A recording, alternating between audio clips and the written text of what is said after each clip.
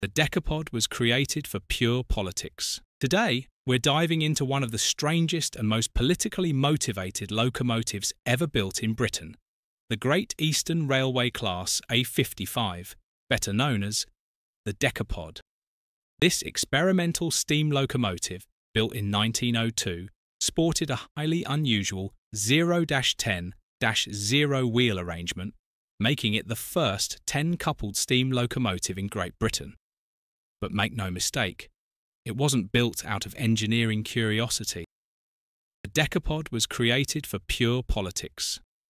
At the time, a rival proposal for an electric railway was being pushed through Parliament, a scheme that threatened the GER's suburban dominance. So, under the direction of Chief Draftsman Fred Russell and supervised by James Holden, the GER's superintendent at the time, the Decapod was constructed to prove that steam could still hold its own, especially in fast suburban passenger work.